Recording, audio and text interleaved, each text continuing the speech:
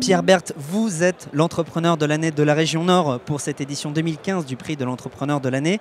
Vous êtes PDG de la société Proplast. Proplast, c'est euh, un acteur incontournable de la plasturgie en France. Euh, présentez-nous en quelques chiffres Proplast.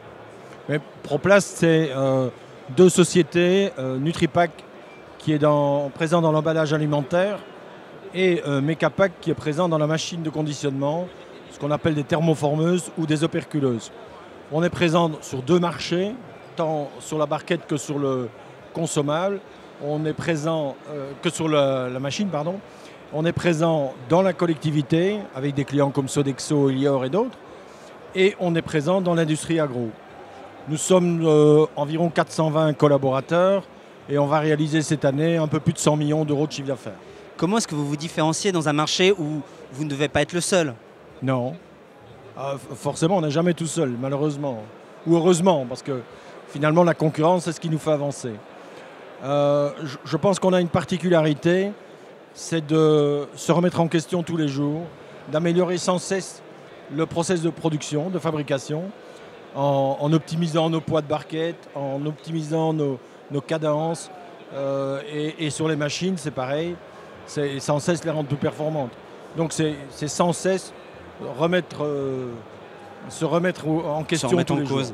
Mais aujourd'hui, vous réalisez 50% de votre chiffre d'affaires à l'international. C'est ça l'avenir pour, pour ProPlast euh, Oui, clairement, c'est l'avenir à l'international parce qu'aujourd'hui, on a des positions en France qui, bon, même si on est en train de faire une petite acquisition d'ici 15 jours, en France, euh, clairement, le marché est à l'international. Même si on est présent déjà dans différents pays, on est présent au Benelux, où on est euh, archi majoritaire euh, sur notre marché. On est présent en Espagne, en Italie, mais c'est des marchés où on doit acquérir une position plus importante.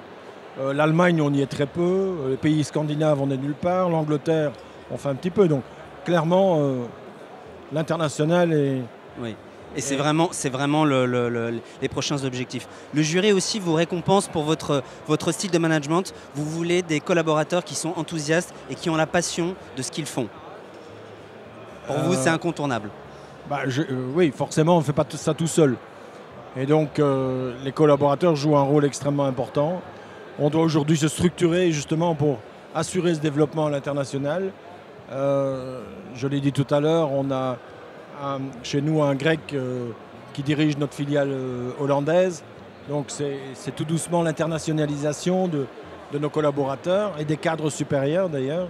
Donc euh, c'est avec eux qu'on fera demain, je sais pas moi, le double ou trois fois le chiffre d'affaires d'aujourd'hui. Ou cinq, cinq fois, dix fois, pourquoi, pourquoi se mettre des limites?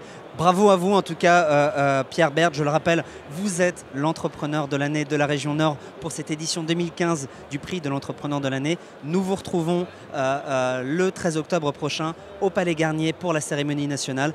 D'ici là, on croise les doigts pour vous pour, bah, pour, savoir si vous allez le remporter ou non, le prix de l'entrepreneur de l'année au niveau national. Bravo à vous et à bientôt. Merci.